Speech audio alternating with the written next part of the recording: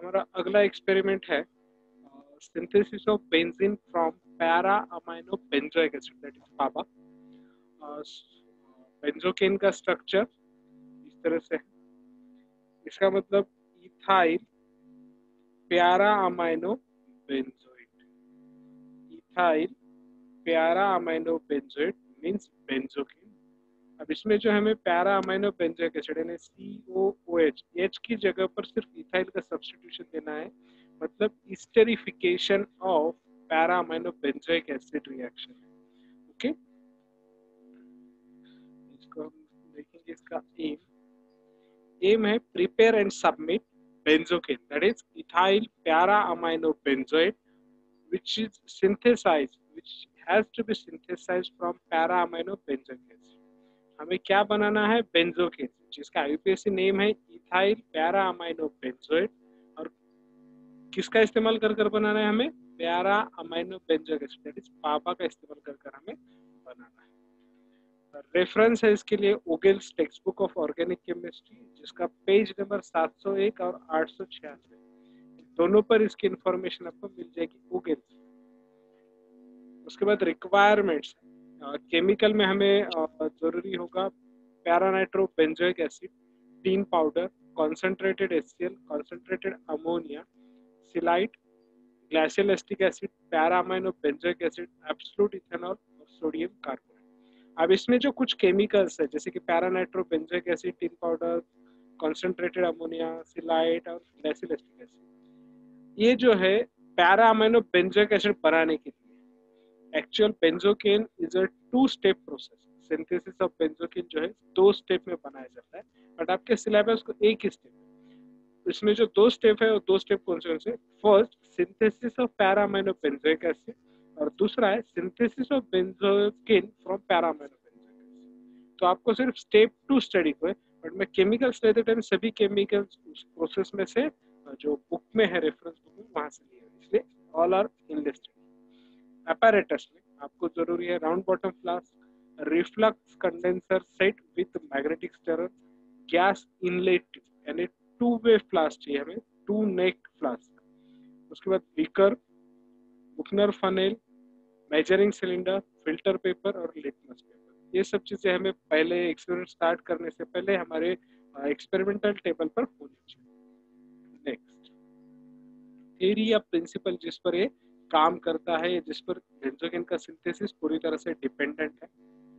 Benzocaine is prepared by Fischer esterification okay benzocaine हम बना रहे हैं किसके इस्तेमाल करके? पैरामाइनो बेंजोइक एसिड और ये जो रिएक्शन बेस है, वो है फिश्चर स्टेरिफिकेशन मेथड्स उसके बाद स्टेरिफिकेशन जो होता है, उसके अंदर हम यूज़ करेंगे alicyclic alcohol alicyclic alcohols. Esterification जो होता है वो एलिसाइक्लिक अल्कोहल्स का, जिसके अंदर अल्कोहल को ओके अल्कोहल को सैचुरेट किया जाता है mineral acid that is hydrochloric acid के साथ। ओके जो अल्कोहल हम यूज़ करने वाले उसको फुल्ली सैचुरेटेड करते हैं हाइड्रोक्लोरिक एसिड के साथ, जिसकी वजह से पहले जो हमें प्रोडक्ट मिलेगा वो हाइड्रोक्लोरेट साल्ट मिलेगा उसका।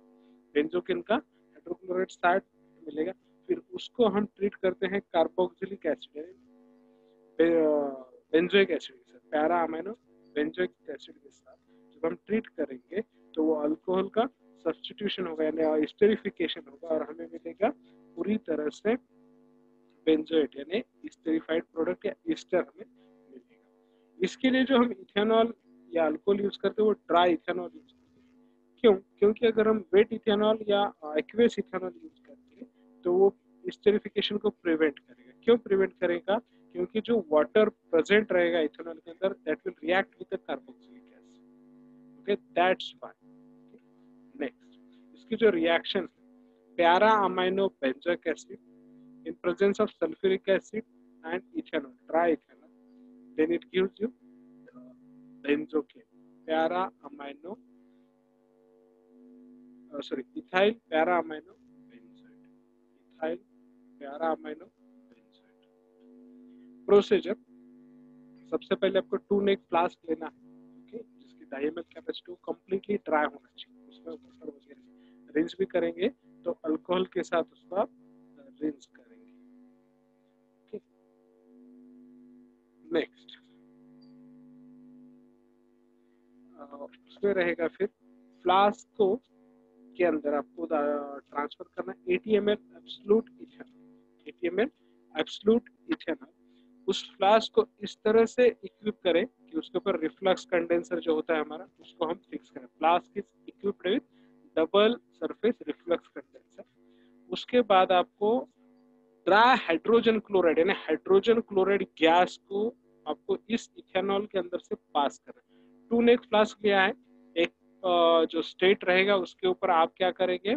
कंडेंसर लगाएँगे, रिफ्लक्स कंडेंसर फिक्स हो जाएगा। दूसरे इस, ओके, उसके जो गैस पाइप का इनलेट जोड़ेंगे गैस इनलेट जोड़ेंगे और वहाँ से फिर गैस इंसर्ट करेंगे। तो आप बोलेंगे कि कंडेंसर से बाहर जाएगा तो वहाँ पर एक आपको गैस स्टॉपर लगाना अगर थोड़ा सा भी ज़्यादा गैस होता है तो चलेगा आप ये करते वक्त आपको क्या करना है, जब आप आरपीएफ में जो टू नेक फ्लास्क उसके अंदर जब A T M L ethanol डालेंगे तो उसका वेट कर लेंगे। ओके?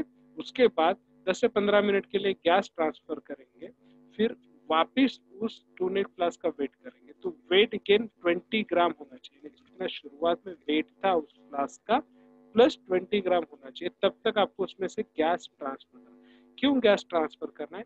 कि वो पूरी तरह से इथेनॉल पूरी तरह से सेचुरेट हो जाए। अगर आप हाइड्रोक्लोरिक एसिड ऐड करेंगे तो उसके साथ वाटर जाएगा।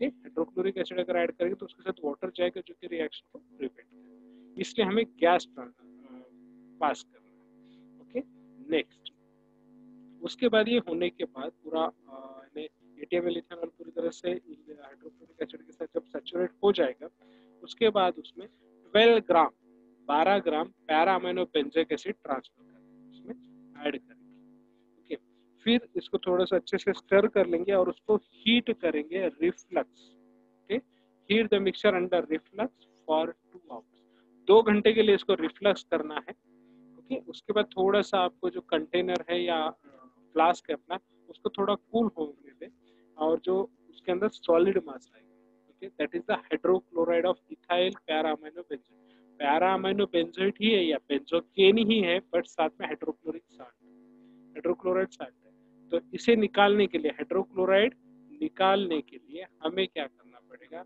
ये हॉट मिक्सचर को 300 सौ वाटर में ट्रांसफ़र करेंगे 300 सौ एम वाटर में ट्रांसफ़र करेंगे, फिर उसके अंदर हम डाल देंगे sodium carbonate solid sodium carbonate यानी जो हम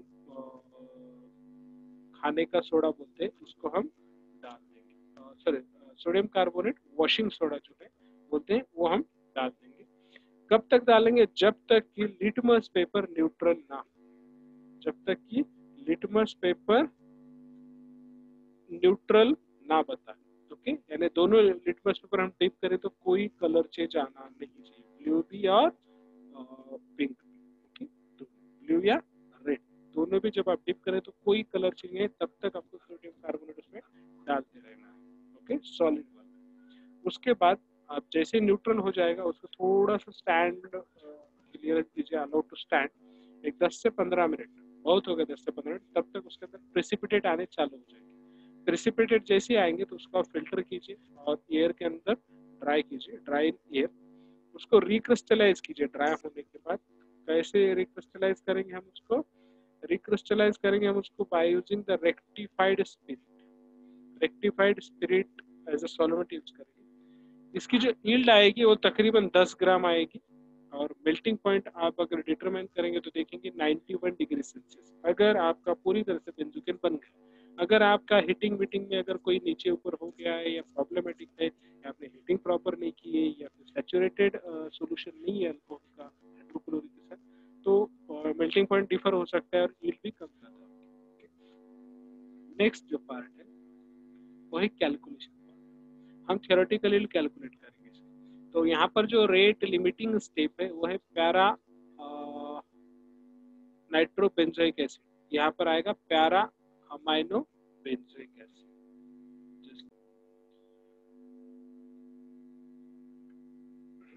rate limiting step है para amino benzoic acid hence it should be calculated from its amount जितना अमाउंट हमने लिया तो मोलिकुलर फार्मूला है पैरामाइनो बेंजोइक एसिड का। कितने कार्बन है, कितने हाइड्रोजन है, कितने नाइट्रोजन और कितने ऑक्सीजन यहाँ पर लिखना है, मैंने सिर्फ़ यहाँ पर आइटम्स लिखे C H N O carbon कितने उतने कार्बन लिखे हाइड्रोजन कितने उतने हाइड्रोजन लिखिए नाइट्रोजन कितने उतने नाइट्रोजन ऑक्सीजन कितने उतने ऑक्सीजन लिखिए मॉलिकुलर फार्मूला ऑफ़ बेंजोकेन इसमें भी आपको वैसे ही लिखना है। उसके बाद molecular weight of para amino acid ये फार्मूला आ गया आपके पास उसके ऊपर से आप इसे कैलकुलेट उसके बाद थियोरेटिकल यील्ड ओके अब इसमें जो है पैरा अमाइनो बेंजोइक एसिड है मॉलिकुलर वेट ऑफ़ बेंजोकेन भी आपको कैलकुलेट करना है। थियोरेटिकल यील्ड थियोरेटिकल यील्ड में कितने gram para amino benzoic acid forms जितने ग्राम हमने लिया 12 gram of para amino benzoic acid 165 gram of benzoic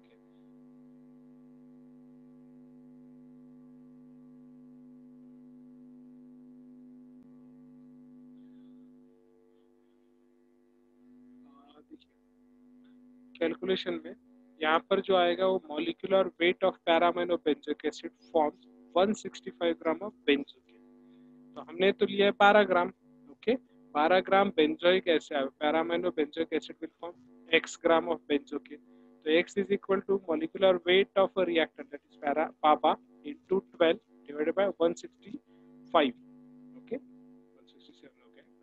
165 gram of benzocaine ये आ गया फिर यहाँ पर कैलकुलेट कीजिए थियोरेटिकल प्रैक्टिकल जो आपका वेट आएगा वो percentage in practically divided by theoretically into 100 okay ये सब आपको कैलकुलेशन ऑलरेडी आते जस्ट हाईलाइट किया है। उसके बाद रिज़ल्ट uh, कैसे लिखेंगे? तो बेंजोकेन वॉज़ सिंथेसाइज प्रैक्टिकली जो आपका वेट आएगा प्रोडक्ट का वो थियोरेटिकली जो आपने कैलकुलेट की है। परसेंटेजली ऊपर के दोनों से में से कैलकुलेट करेंगे प्रैक्टिकली और थियोरेटिकल इल से यहाँ पर परसेंटेज आएगा मेल्टिंग पॉइंट डिटरमाइन कर कर लिखिए मोलिकुलर फार्मूला आप कैलकुलेशन ऑफ़ थियोरेटिकल इल के टाइम किया है तो वही यहाँ पर लिखेंगे मोलिकुलर वेट भी आपने कैलकुलेट किया होगा तो भी लिखेंगे structure is here okay so here we have discussed the complete uh, synthesis of benzocaine from PABA, that is para-amino benzoic acid. Okay, so don't forget to subscribe the channel. Okay, uh, like the videos, if you like actually then comment for improvement अगर कोई ज़रूरत तो आपको लगती है कि यहाँ पर ये इम्प्रूवमेंट होना चाहिए, वगैरह, या किस पर वीडियो करना चाहिए तो आप बोल सकते हैं ओके okay?